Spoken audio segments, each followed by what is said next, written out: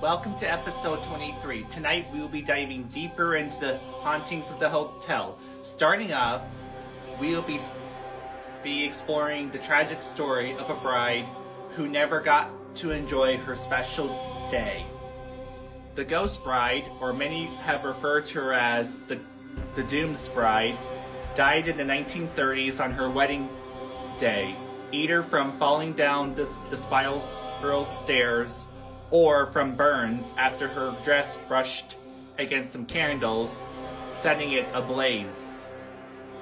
She has been seen roaming around the halls of the hotel, gliding up and down the stairs, or been seen dancing in the upstairs ballroom, enjoying the wedding day she never got to enjoy while, while she was alive.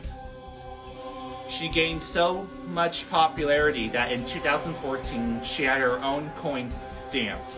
While it was tragic that that she had died on her very special day, in spirit she continues to enjoy her special, special day as if she were alive.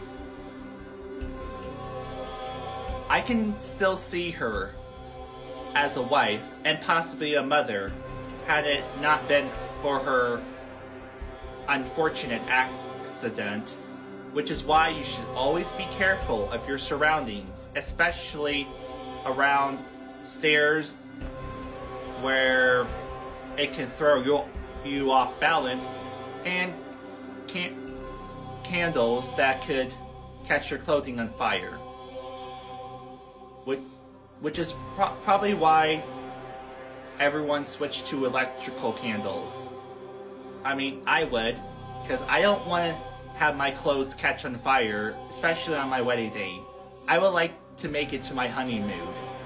I hope you all enjoyed this video. Join me again in episode 24 as we explore the story of, of a famous worker from the 1960s who continues to work long after his death. And until next time, stay classy.